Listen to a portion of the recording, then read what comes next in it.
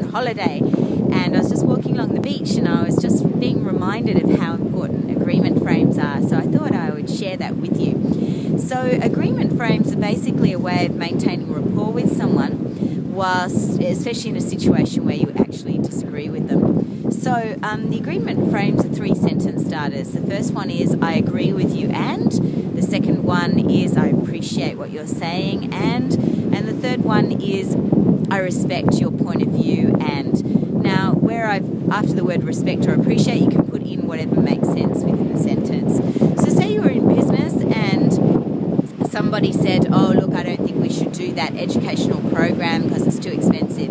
You might say something like, I really appreciate how much you are, um, are looking at the finances, and that's so important to us. And this particular program is going to increase sales. So, in the end, it's going to be a great investment because we double our sales. That's going to be a fantastic investment of our time and money, and I know it can do that.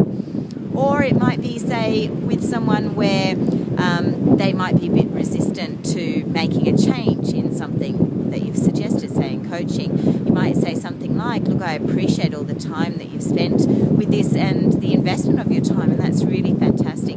And just change this little section, we'll find that we'll get a better outcome, and that's going to really make your life a lot easier and save you a lot of time. Or you might have, um, I agree. So I agree that um, we need to be very careful of our finances at the moment, and this is going to be great investment so that we can have a better outcome in the long run. So those are the three agreement frames. I agree, I appreciate, and I respect.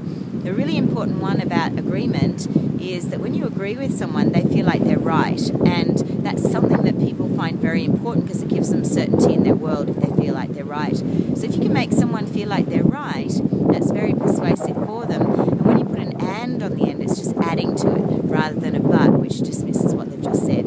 So that's it. I've got a dog approaching me at the moment, so I'm